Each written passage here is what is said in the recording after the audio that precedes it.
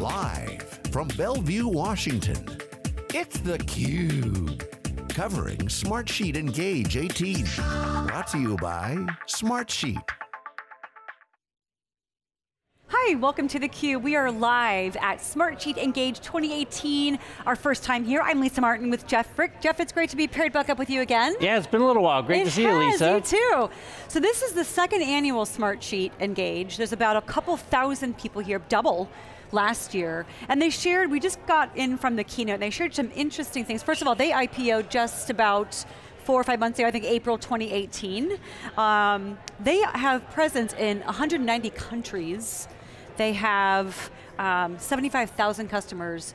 They've got users in half the Fortune 500, 90% of the, of the Fortune 100, and a lot of momentum. What are some of the things that you're excited to learn about Smartsheet today?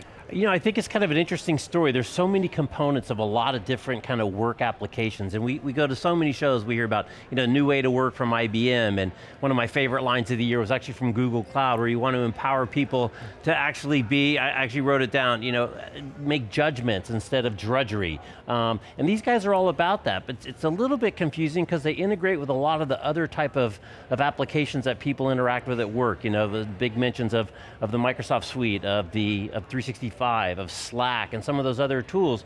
So what Smartsheet's trying to do is really roll those all up under kind of a unified view, parts of project management, parts of task management, a lot of, of, pieces to really add that top level management. So I think it's a little bit um, of an interesting message. It's a lot of bits and pieces. We're used to that with theCUBE. We have three brands, so I kind of I kind of get it. So I'm, I'm looking forward to learning more about really how they kind of parse that out. I am as well, because you mentioned a number of, of other solutions who they both compete with, Microsoft Teams, um, Jira under Atlassian, they also partner with them. And so I'm curious to see, you know, an example, and we've got three customers of theirs on the show today, Jeff. I'm interested to see that in action. If I am at an enterprise and I am running a marketing project and I use, I want to use Smartsheets, but I also need Slack for messaging, email for communication.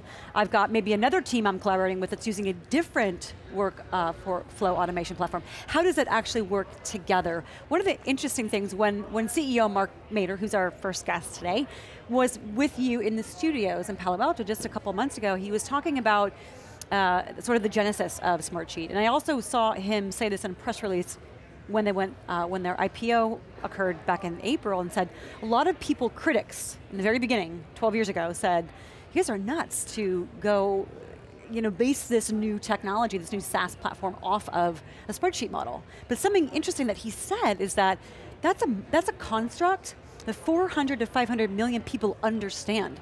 So this is another interesting element to me, is that this is technology that's not, you don't have to know how to code or, or even what an API is. This is for the business users, the lines of business, IT, marketing, engineering, facilities management. So it's a really, it's got a broad uh, spectrum of use cases that I'm also interested in hearing about today. It's funny on, on the worksheet, um, as kind of a construct because we hear that, that all the time, especially at all of our big data shows, right? worksheets and Excel is still used by a lot of people for a significant, a significant amount of work. So people are familiar with it and they know how it works. I think they'll have to change that a little bit as they grow a little bit beyond that. Still a lot of conversation about rows and it sounded very kind of spreadsheet centric in the keynote and I think that'll evolve, but I think what's the most important thing, what I'm excited about, and I, I say this time and time again, we go to so many shows, right? Everyone is struggling to, to find innovation. And, and to me, the answer is, one of the answers is kind of simple, right? You give more people more access to more data with more tools to manipulate that data, and then most importantly, the power to do something about it. And this was all about you know, empowerment, empowerment, empowerment, letting people, give them the information, and then let them actually do something with it. And that is so significant, and it's kind of interesting. They had a, a Stephen Covey um, quote up on there as well that's kind of a similar thing taking it to the next step, which is that's how you keep people happy, that's how you keep people engaged. Again, less drudgery, more judgment, let them feel like they can actually make a difference versus just pushing buttons and moving paper along. Yeah, another thing, theme that we heard a lot in the keynote this morning, Jeff, is, is about collaboration. And it really seems to me to be this message of symbiotic collaboration. They, uh, Gene Farrell, who's going to be on the show with Jeff and I just in a few minutes or so, talked about hey, customers, we've heard you, you want more. And he actually got the crowd to chant, we want more, it was great. but when he was starting to talk about some of the new enhancements to the features, and yes, you're right, they are still talking about some I don't want to say antiquated, you know, row structures and things like that. There were a number of times where the audience today broke into applause. So not only are they, you know, delivering this SaaS platform to facilitate collaboration between teams at small organizations to big enterprises, they are also collaborating with their customers to continually innovate and improve their product. And I thought something that I've never seen, and we see a lot of keynotes, is that their CEO, Mark Mader, actually went into the audience during his session this morning and asked customers to stand up and talk about how Smartsheet is empowering them. And there were at least three different customers that stood up and right. quite articulately spoke about how, uh, mostly qualitatively, but how their businesses or their teams or their productivity is being improved. So this collab bi-directional collaboration I thought was very palpable right. this morning. Which, which again, I think is one of the huge benefits of the SaaS business model uh, that, that, that is way underreported, not by us, we talk about it all the time, is that if you have you know, kind of a recurring revenue model with your customer, it forces you to be engaged, it forces you to deliver value, it forces you to innovate on an ongoing basis. It's not a ship and dump and release, we'll come back in a year for our 15% maintenance. It's a very different way to go. Other really interesting things, they talked about you know, recent events, Hurricane Florence, in North Carolina. Happens to be a customer, they were able to aggregate and pull together a lot of information into these dashboards, and that's something we hear about all the time. We'll hear about it more in the PayPal example, it was, it was referenced in the keynote, which is when you have to you know, pull that data together for your weekly you know, kind of executive briefing, you know, this promise of all these dashboards has always been there.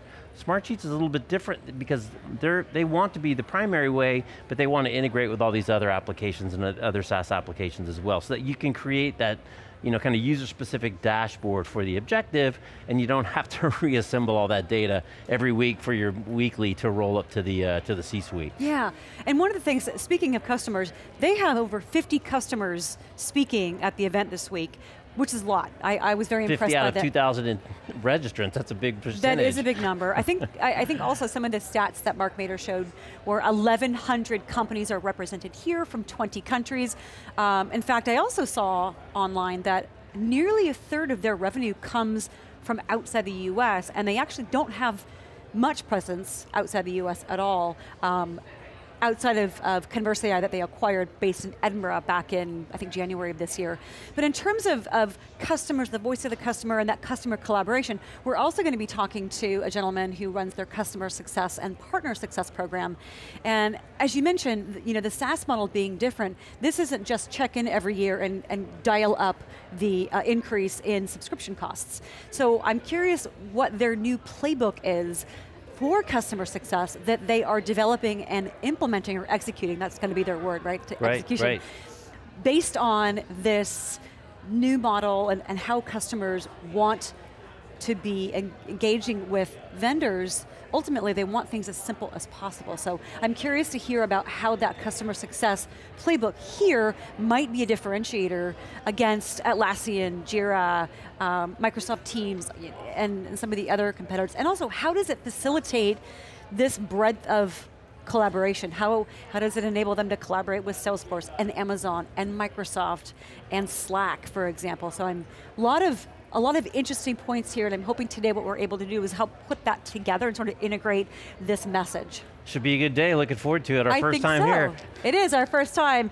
So stick around, Jeff and I are going to be live all day. We are again in Bellevue, Washington at the second annual Smartsheet Engage 2018. I'm Lisa Martin with Jeff Frick. Stick around, we're going to be right back with the CEO in just a minute.